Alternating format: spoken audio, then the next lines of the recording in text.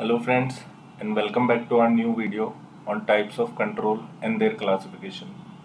In our last video we discussed that once risk is identified, organizations put some controls or countermeasures to bring risk from unacceptable or high level to an acceptable level.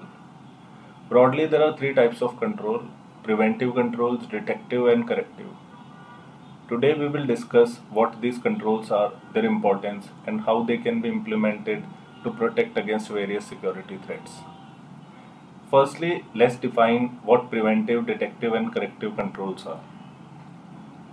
Preventive controls are measures taken to prevent security incidents from occurring in the first place. They are proactive in nature and are implemented to reduce the likelihood of a security breach. Preventing control means detecting problem before they arise. Example of preventive controls include access control, which can be logical or physical access control, which prevents unauthorized access by restricting access to only authorized individuals. So, logical access control, like restricting access for application based on some role or rules, like uh, vendor uh, payments applications uh, which organizations are using or SAP applications or it can be physical access control like access to uh, critical areas like server room or battery room second is firewall it is designed to protect unauthorized access to a network or system by filtering network traffic based on predefined rules a firewall can prevent unauthorized access attempts from reaching the network and reduce the risk of a successful attack. So, firewall is also a preventive control.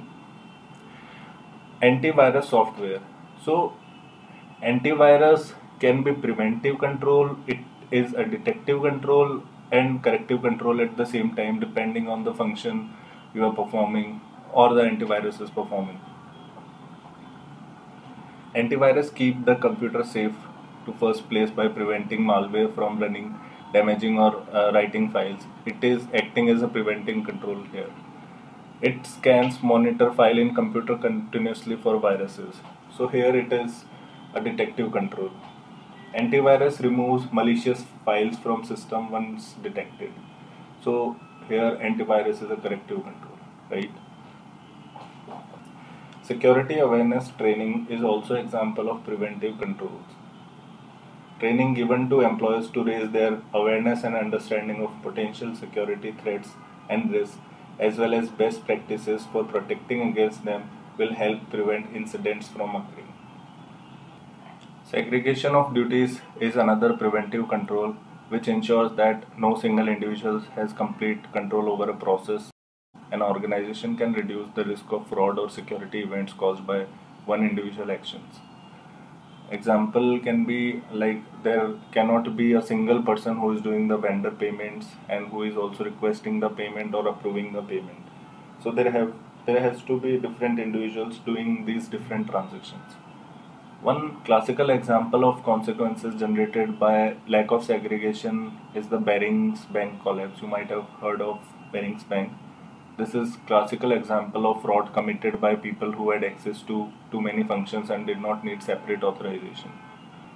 The character is Nick Leeson who was manager of Baring Banks trading on the Singapore International Monetary Exchange and at the same time the head of settlement operations meaning that he was in charge with the accurate accounting also so he was performing an activity and also he was in charge with checking how the activity is being performed.